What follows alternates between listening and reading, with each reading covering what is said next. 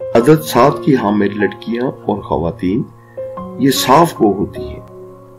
इन्हें गुस्सा जल्द आ जाता है, लेकिन ये दिल की कदरें नर्म होती हैं। ऐसी लड़कियाँ आमतौर पर खुद से ज़्यादा अमीर घरानों में ब्याही जाती हैं।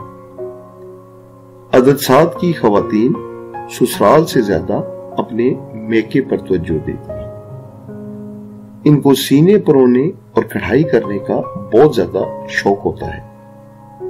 खाने पकाने से दिलचस्पी रखती हैं। शादीशुदा खातन शोहर के हर हुक्म की तामील करती हैं और उसको सही मानों में अपना मजाजी खुदा तस्लीम करते हुए उसकी खिदमत करने में कोई कसर नहीं छोड़ती। इनमें रकाबत का अंसर हद से ज़्यादा पाया जाता है।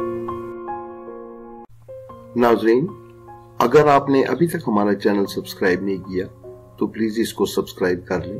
और अगर वीडियो अच्छी लगे तो इसको लाइक और शेयर ज़रूर करें। बहुत शुक्रिया। अदद सात की हामिल खातन और लड़कियाँ, ये जरा आज़ाद ख्याल होती हैं, लेकिन अपनी रवायात से भी दूर नहीं होती।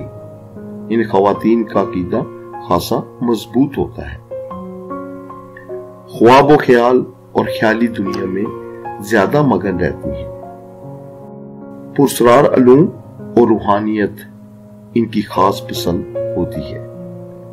बदगुमानी और एहसास कमतरी का भी जल्द शिकार हो जाती है। अदद सात की हामिल खातन और लड़कियाँ अपना राज अपने दिल में ज़्यादा देर नहीं रख पाती और अपना सब कुछ दूसरों के सामने खोलकर बयान कर देती हैं।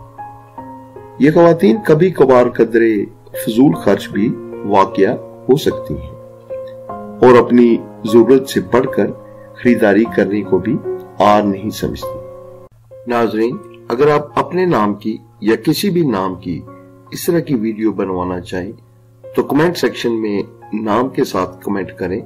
इनशाला बहुत जल्द आपके नाम की वीडियो बना दी जाएगी। इनके लिए इतवार और पीर का दिन।